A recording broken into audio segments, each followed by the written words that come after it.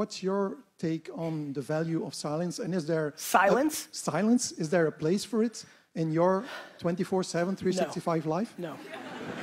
but that's good. This is important for everybody. It's amazing that you're self aware and you know your hardwiring that silence is important to you. The thing that I fear as I grow in popularity is that people try to emulate me. And the reason I continue to put out, now, I want to talk about what I think is the way I do it so people can use me as a blueprint for themselves. But the reason every two weeks, three weeks, four weeks, I'll say something that throws them off is I want to remind them that I'm just one human being and this is what works for me. I'm the reverse. Something that, you know, I'm sure D Rock's laughing right now. There's times when we walk into the office and it's quiet because everybody's on headphones and trying to be respectful, and it freaks me out.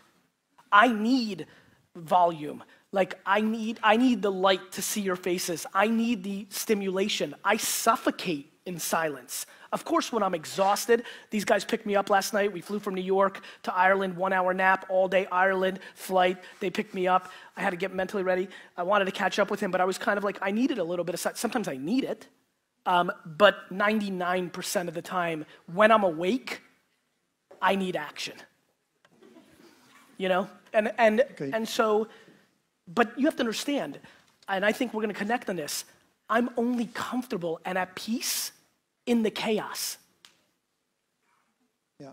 When I get silence, I get sad, I get anxious.